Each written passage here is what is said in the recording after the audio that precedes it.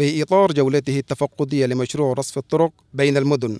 فقد أطلع وزير البنية التحتية وفك العزلة الدكتور إدريس صالح بشر مشروع شارع أبشة أم زوير وأم زوير بيلتين حيث تقوم بتصليحه شركة بي التي جهزت كل معداتها لتصليحه. بهذا اللقاء الذي جمع بين وزير البنية التحتية وفك العزلة الدكتور إدريس صالح بشر مع الشركة ومحافظ محافظ أم زوير حيث صرح المحافظ يوسف عبد الكريم عن إطلاق هذا المشروع. كان طلبنا سنة العام. سيد الوزير جانا هنا كتبنا له. يعني أسرع وقت. ما تم سبع شهر.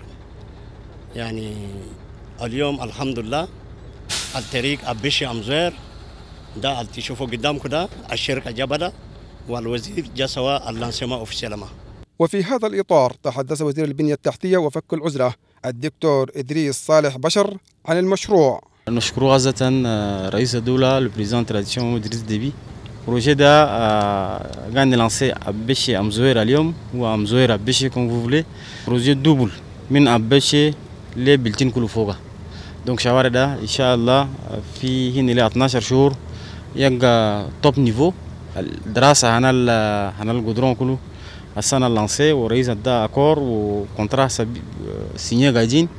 هنا السنة ده يكمل إن شاء الله الدراسة دول يبقوا موجودين.